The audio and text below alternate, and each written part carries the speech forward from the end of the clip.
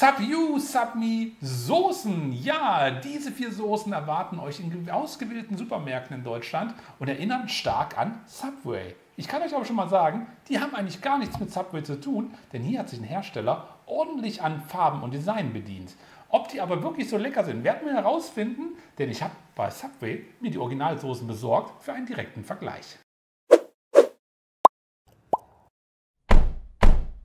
Willkommen bei der Foodschau! Ja, im Vorspann habt ihr sie gesehen. Sub You, Sub Me, Soßen, die nicht original von Subway sind. Das habe ich euch ja schon gesagt. Ja, es ist wirklich so. Die sind nicht original von Subway. Sie sehen zwar so aus wie die von Subway und es haben auch ganz viele Leute immer geschrieben, kannst du mal die Subway-Soßen testen? Wo kann ich die Subway-Soßen kaufen? Ich muss den Leuten immer sagen, es gibt keine Subway-Soßen. Die gibt es nicht überall zu kaufen. ich habe sie jetzt auch nach langen Suchen mal bekommen. Ähm, ich habe sie bei Edeka gekauft. In Edeka im Bad Salzuffeln, der hatte noch alle vier Sorten, denn die verschwinden schon wieder aus den Supermärkten, denn ich glaube, Subway ist gegen vorgegangen, denn man kriegt nur eine Restbestände und auch die Website dafür ist offline von dem Hersteller. Die gibt es nicht mehr, die Website. Also die, die Landingpage und die Produkte sind nicht mehr auf der Website von dem Hersteller.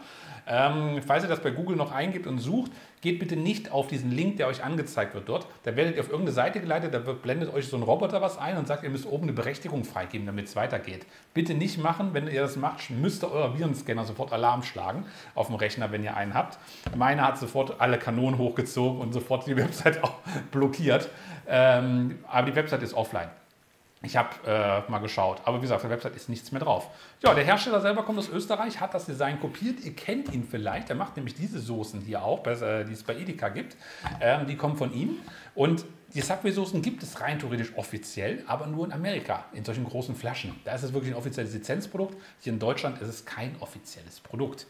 Um das aber gleich für euch zu testen, war ich bei Subway und habe mir die Soßen abfüllen lassen. Die kosten 50 Cent, wenn ihr so eine Soße euch abfüllen lasst. Ich habe mir also hier für 2 Euro die Soßen geholt, damit wir direkt einen Geschmacksvergleich machen können. Ja, und diese Soßen habe ich im Edeka gekauft, im Bad Salzuffeln für 2,99 die 300 ml Flasche. Und die gibt es in den beliebten Sorten, wo wir direkt mal drauf gucken. Wir haben hier einmal die vegane Aioli. Ähm, das ist eine spanische Knoblauchsoße nach, Sonnen, nach Sonnenblumenöl. Auf Sonnenblumenölbasis mit Wasser, Zucker, Knoblauch, ist auch mit 5% enthalten, Kichererbsenprotein, ein bisschen zum Verdicken, Zitronensaft, ein bisschen Aroma. Ja, der Rest ist okay, das ist für so eine Soße normal. Genau, diese Hola Manolo, so hieß die Firma, so war das aus Österreich. Ähm, 610 Kalorien auf 100 Gramm, 8,1 Gramm sind Zucker, 300 ml oder 300 Gramm hat so eine Flasche. Dann haben wir hier die Sweet Onion. Die Sweet Onion ist eine Wasserzucker-Balsamico-Soße mit auch Zwiebelpulver enthalten, aber auch Apfelsaftkonzentrat, Aromen, Sonnenblumenöl. Ja, das ist alles legitim. Äh, 156 Kalorien, 32 Gramm davon sind Zucker. Schauen wir einmal auf die Chipotle Southwest, eine sehr beliebte scharfe Soße. Haben wir ja vor kurzem auch erst einen Sub mitgetestet. Mit Sonnenblumenöl, Wasserzucker, pasteurisierten Eigelb, äh, Speisesalz, Säurungsmitteln, modifiziertes Stärke, Zwiebelpulver, Chipotle, Chili ist ja auch wirklich drin mit 0,4%, aber auch Aroma, aber Weißeinessig, Rauch, wird schon passen. 427 Kalorien, 4,8 Gramm Zucker und Honey Mustard, die süße Honigsoße. Ähm, die, wo haben wir sie? Ach ja, und Senf, äh, klar. Mit Wasser, Honig, Sonnenblumenöl, Senfkörner, das ist eigentlich alles drin, was man so braucht für die Soße. Äh, 215 Kalorien und 21 Gramm davon sind Zucker. Und hier sind sie jetzt, die Soßen. Ja, hier, die ist mir direkt kaputt gegangen, die Aioli. die ist mir direkt gebrochen. Aber naja, das ist die vegane Aioli. So schaut sie aus. Ja, einfach nur eine helle Creme, könnte auch eine Mayo einfach nur sein, was ja bei Mayo manchmal auch einfach so ist. Mayo ist manchmal ja einfach nur mit Knoblauch gemischt und dann habt ihr eine Aioli. So machen es viele Hersteller. Dann haben wir hier die Honey Mustard die ist wirklich sehr, sehr flüssig, muss ich sagen. Also es ist wirklich eine sehr flüssige Variante, aber so schaut sie halt aus. Hier haben wir die Chipotle Southwest. Ja, cremig, hat ungefähr die Konsistenz, so wie man sie kennt und auch die Optik. Und als letztes haben wir dann die Sweet Onion. Die ist wirklich komplett flüssig. Also die ist, äh, ja, ich weiß nicht. Also das ist wirklich nur so ein Klecks Wasser. Also so habe ich die nicht in Erinnerung. Und ich habe ja die Originalsoßen für euch ja hier. Das habe ich euch ja gesagt. Und ähm, ich zeige euch jetzt mal die vegane Aioli. Das ist die vegane Aioli von Subway. Ja, man sieht also richtig cremig. Dann aber überall noch diese kleinen schwarzen Stücke drin, Kräuter mit drin. Haben wir bei dieser Variante wirklich gar nicht. Also ist gar nicht vorhanden. Was ich sehr, sehr schade finde. Dann haben wir hier die Honigsoße. Also das ist die äh, Honig-Senf-Soße. Und die äh, sehen im ersten Moment leicht identisch aus, aber hier ist es halt eine cremige Soße und hier ist es halt eine flüssige Soße. Und man sieht doch kleine Farbunterschiede. Bei der Chipotle Southwest, Moment, sieht es dann so aus. Das Original wirklich cremig, aber geht ungefähr in die Richtung. Ich glaube aber im Original sind mehr Kräuter drin. Und als letztes haben wir dann noch die Honigsoße, ah nee, die Sweet Onion Soße. Und da ist der Unterschied wirklich am größten, wenn wir uns den anschauen. Also das ist wirklich ein großer Unterschied. Hier viel, viel dunkler. Auch nicht ganz zu dick, aber ein bisschen dicker. Aber die ist wirklich im Verhältnis viel, viel flüssiger. Also gerade schon beim Rausgießen, die ist eigentlich gefühlt gerade wie Wasser gewesen. Also probieren wir uns jetzt mal durch diese Soßen. Wir fangen erstmal mit den ja, Soßen an, die geliefert wurden, bevor ich mich jetzt auf Original fixiere. Denn vielleicht schmeckt das ja auch so. Weil der Deckel kaputt ist. Ist wirklich einmal ganz kurz runtergefallen, ist mir aus der Hand gerutscht und sofort war der Deckel in tausend Teile gesprungen. Probieren wir das jetzt mal. Ich habe das ja jetzt gerade auf diesen schönen Löffel, die benutze ich aber gleich nochmal für ein Foto. Die Aioli, wie gesagt, ist hier wirklich ohne Stücke, das habt ihr ja vorhin schon gesehen. Sie hat aber einen ordentlichen Knoblauchgeruch, ist ja auch Knoblauch drin. Wir probieren mal.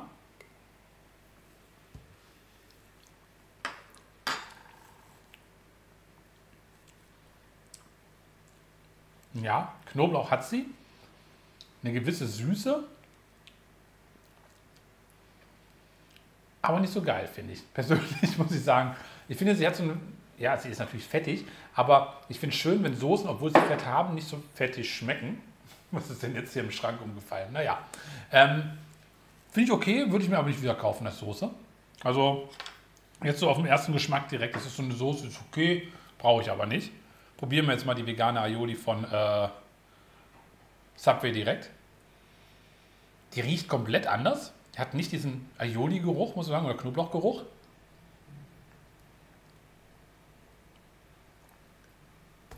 Das ist eine komplett andere Soße. Du hast Süße und Säure. Knoblauch kommt jetzt erst zum Abgang, gar nicht so präsent ist am Anfang.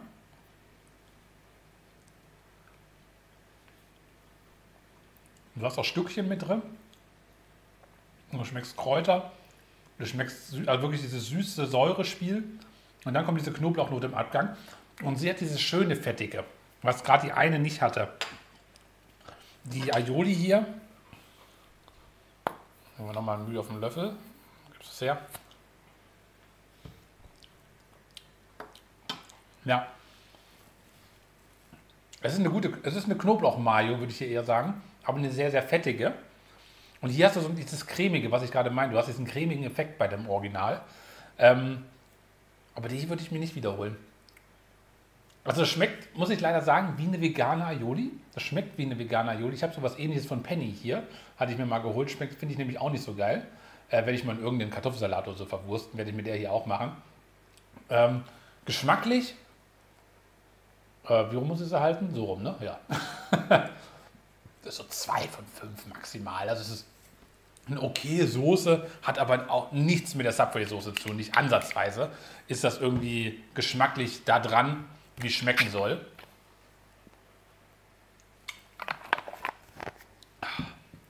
Probieren wir jetzt die äh, Honey Mustard hat man als nächstes, ne? Also die Honig-Variante. Machen wir jetzt auf den gleichen Löffel. Ich habe ja hier noch ein Tuch liegen. Kann ich einmal kurz den Löffel abwischen. Ist ja mein Löffel, darum ist es egal. Wie gesagt, die ist sehr, sehr flüssig im Verhältnis. Das seht ihr jetzt hier schon beim Rauslaufen. Also das ist wirklich nicht von mir so geschrieben oder so oder gesagt, dass die extrem flüssig ist. Die ist wirklich flüssig im Verhältnis. Riecht auf jeden Fall nach Honig. Ganz leicht. Also Honig hat wirklich einen Teil einen Geruch. Also ich liebe Honig. Wir haben hier super viel Honig da. Senf riecht auch. Es, könnte, es riecht ein bisschen wie ein Honig-Senf-Dressing, muss ich sagen. Oh, ist aber wirklich sehr, sehr flüssig. Die ist komplett wie Wasser auf der Zunge. Auch leicht gebunden. Schmeckt nicht schlecht. Schmeckt aber 100 Pro nicht wie die Honigsenf. Die habe ich anders in Erinnerung. Von Subway. Wenn ich jetzt die hier nehme, Ihr habt ja gerade die Konsistenz gesehen. Die ist zwar auch flüssig, aber die ist cremig flüssig. Die eine war gerade komplett flüssig. Ja. Cremig.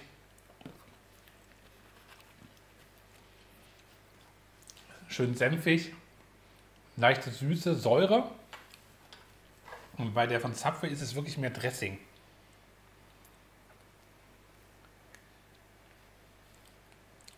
Ja. Und Essig. Also Sub Me, Sub You, Honigsenf schmeckt auch nicht ansatzweise so. Also schmeckt wirklich eher wie ein Salatdressing, würde ich eher sagen. Es ist eher so ein Honig-Senf-Salatdressing. Werde ich benutzen für ein Salatdressing. Aber das hier ist wirklich eine Honig-Senf-Soße, cremig. So wie es ja auch gerne zu sauren Eiern, Senfeier, so wie ihr das nennen wollt, essen würde. So eine richtig schöne cremige Soße, wie es sein muss. Der würde ich jetzt punktemäßig so zweieinhalb geben. Ist okay, aber nicht das, was es sein soll. Es ist wirklich eher ein Dressing statt einer Soße. Ähm, probieren wir jetzt erst die Honey äh, Sweet Onion, sicherheitshalber. Da äh, ich Angst habe, dass die Southwest mit dem Mund komplett wegbrennt. Das hatte ich ja beim letzten Test schon gemerkt. Ihr seht jetzt auch einmal die Konsistenz. Die sind alle geschüttelt, auch die Soßen. Nicht, dass einer sagt, die muss ich schütteln. Aber ihr seht auch hier dieses sehr flüssige Dressing, was hier rauskommt. Also es ist wirklich sehr, sehr flüssig. Riecht nach Honig. Äh, Honig. Riecht nach ich habe gerade immer noch das Honig-Senf-Dressing im Kopf. Äh, riecht nach Zwiebeln. Aber auch sehr, sehr essiglastig.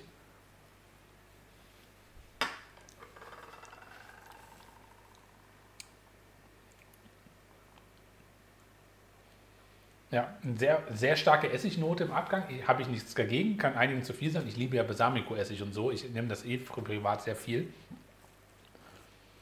Aber auch, das ist auch eher ein Salatdressing, meiner Meinung. Ähm, probieren wir mal das Original. Zeige ich auch nochmal von der Konsistenz. Ihr habt es ja gerade gesehen. Und ihr seht ja was, ich, ja, was ich meine. Die fließt halt. Die ist halt auch flüssiger natürlich, aber die fließt halt richtig, weil es halt ein bisschen cremiger ist. Und das andere ist eher mehr wässrig. Schauen wir mal, was die kann.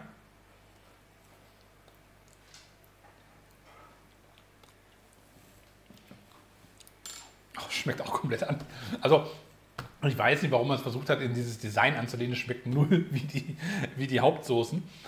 Auch hier cremiger, vielleicht ein bisschen zu cremig. Ähm, hast aber die Süße von der Zwiebel da, ohne diese Essignote. Hier hast du eine extreme Essignote mit bei. Also auch hier ist es maximal eine 2 von 5. Also mehr will ich ja auch nicht geben. Das ist auch eher ein Salatdressing für mich.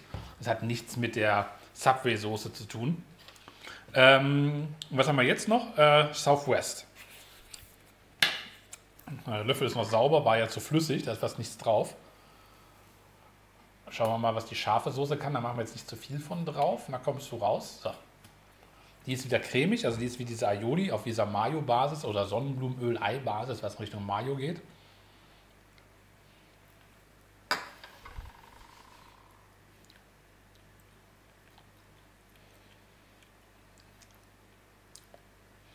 Weiß ich jetzt schon, dass es nicht so schmeckt, weil ich habe es ja vor kurzem probiert.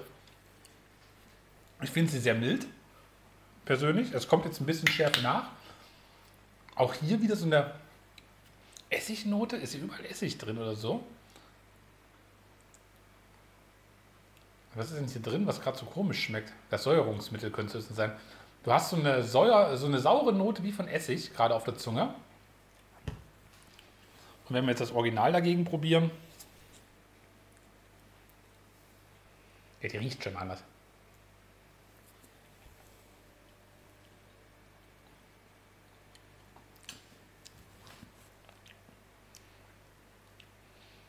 Auch wieder anders. Cremig, süß, du schmeckst leicht Kräuter. Jetzt entwickelt sich direkt die Schärfe im Rachen. Hat so eine gewisse Süße mit drin, ohne diese Essigsäurungs, Säure, Säurungs, Säurenote, verdammte Axt zu haben. Ähm, hat auch nichts damit zu tun. Also, das, also das ist von allen die schlechteste, muss ich sagen. Also wirklich, das ist von allen die schlechteste Sorte. Also der würde ich nur einen von fünf geben, wirklich. Also die finde ich wirklich am allerschlechtesten. Am besten ist wirklich die Honey Mustard ähm, die man so als Dressing benutzen kann. Also diese Art Dressing-Variante, aber mit diesen Subway-Soßen an sich haben die nichts zu tun. Och, das wird aber wieder scharf im Mund. ähm, schade. Also finde ich schade. Also wenn man das schon in diese Richtung macht, hätte man sich vielleicht wirklich mehr am Original orientieren müssen. Das hätte man ja besser geschmacklich abstimmen können. Aber so sind es angelehnte Soßen, die, optisch so aussehen, die äh, den Namen fast so ähnlich tragen, aber die geschmacklich nicht ansatzweise an die Originalsoßen rankommen. Also die schmecken weitaus besser. Rennt nicht unbedingt los und versucht die noch irgendwie zu finden. Ihr verpasst nichts, wenn ihr sie kauft. Es sind Soßen, da gibt es aber weitaus, finde ich, bessere im Supermarkt schon als diese. Die gehen ungefähr in die Richtung, aber die Originale sind weitaus besser und ihr könnt sie bei Subway auch kaufen, wenn ihr wollt. Also, danke fürs Foodschauen, bis zum nächsten Mal. Ciao, euer Bob.